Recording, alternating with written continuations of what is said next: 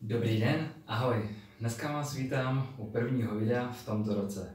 Chtěl bych vám ještě jednou takhle popřát všechno nejlepší nového roku, ať se vám daří a hlavně ať dbáte na svoje zdraví a finance. Proto jsme u tohohle dílu, jak naplánovat finance na nový rok, jak si stanovit takový rozpočet v roce 2019. Já většinou si takhle plánuji svůj rozpočet na celý rok v Excelové tabulce. Teďka vám dám dva typy, neboli dva způsoby, jak si ten rozpočet uh, naplánovat. Buď, že sledujete svoje výdaje, anebo, že sledujete svoje příjmy. Pojďme se hnedka podívat na tu první možnost. Když vezmeme uh, takhle tabulku, kde budeme mít, řekněme třeba leden, zkrátím až takhle prosinec, děláte si takovou tabulku Excelu.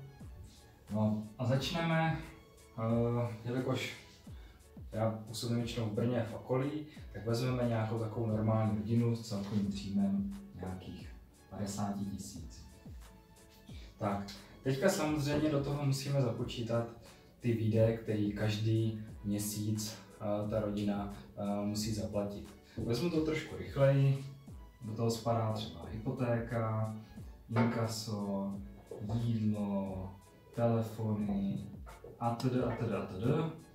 A tohle jsou nějaké takzvané fixní výdaje, které ta rodina musí každý měsíc zaplatit. Nějaké je to X. Než tohle ta rodina udělá, tak by ale měla, nebo každý ten jednotlivec, prvně odměnit sama sebe. To znamená, za to, že vydělám, První odměním sám sebe. To znamená, dám nějakých 10% stranou. Takže tohle by mělo být na tom prvním místě, kde si ta rodina tvoří nějakou rezervu, nebo pak následně ty peníze samozřejmě investuje a zhodnocuje ty peníze svých eh, úspor a tak dále. No a pak je tam to poslední místo, což je to, co té rodině třeba zbývá, nebo to, já to nazývám cíle a přání. To je to,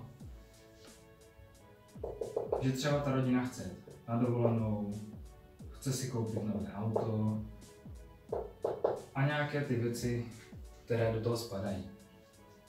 Protože většina lidí uh, není nebo nepracuje jen proto, aby zaplatila ty svoje dané výdaje, ale aby si mohla dovolit právě tyto cíle a přání které mi dělají radost, pro ně šťastnější, dělají je šťastnějšími a je to nějaká ta radost ze života. No a jednoduše, když tohle přetáhne ten, ten celý rok, únor, březen, duben, květen, červen, červenec, srpen, září, říjen, listopad, prosinec, tak tady máte nějakou sumu za ty jednotlivé výdaje, tady máte sumu, kolik jste schopni toho naspořit a zde máte sumu, co si můžete dovolit dát za ty cíle a přání. Takhle jednoduše můžete následovat ten celý rozpočet celý rok. Neříkám, že to každý nějak striktně dodržuje, ale to nějaký, nějaké vodítko nebo průvodce těmi financemi na ten následující rok, co doporučuji. Teď se podíváme na tu druhou možnost, což znamená, jak dělat rozpočet podle svých příjmů.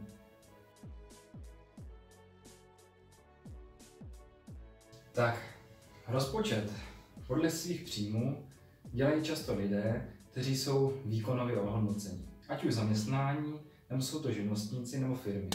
Jsou to lidé, kteří si prvně sepíší, jaké chtějí mít svoje výdaje během toho roku, to znamená začínají tím vším, co chtějí zaplatit, co si chtějí pořídit, co si chtějí splnit a nakonec jim to dá výslednou částku, kterou musí, nebo lépe řečeno chtějí vydělat, aby si to splnili. Samozřejmě není tenhle způsob úplně pro všechny, kteří jsou placeni každý měsíc stejně, proto je to spíše pro ty, kdo opravdu dokáží a můžou ovlivnit svůj příjem a je to pro ně motivační. Takže tím pádem začnu, začnu odzadu. Proč začínám odzadu? Protože většina lidí, kteří si chtějí ovlivňovat ten příjem nebo dělají něco navíc, vykročují z komfortní zóny, neustále se vzdělávají, učí a tak dále, tak v první řadě to dělají kvůli tomu, že si chtějí splnit nějaké ty svoje cíle a přání. Neříkám úplně sny, protože je to trochu nadnešené, já mám taky třeba přehnaný sen, podívat se někdy do vesmíru, nevím, jestli se mi to splní, proto to ani do žádného rozpočtu nedávám, protože tam patří spíš ty konkrétní, reálné cíle a přání. Takže tady si napíšou, kolik by potřebovali nějakou částku x, y, z měsíčně dávat na nějaký jejich cíle a přání. Potom tam spadá ta část, kde samozřejmě uh, musí dát ty výdaje nějaké fixní. Takže tohle je to, co musí každý měsíc zaplatit. No, dostáváme se do té částky, že tady mi to dá nějakou částku, kterou musí měsíčně vydělat. Teďka střelím úplně od oka, třeba nějakých 120 tisíc, řekněme.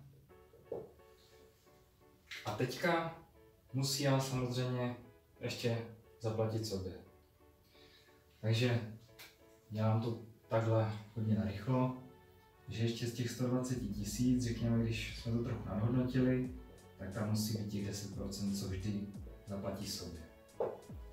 Takže samozřejmě je tam nakonec ta částka, kterou na začátku každého měsíce nebo v tom, co, co jim přijde výplata, zaplatí sobě.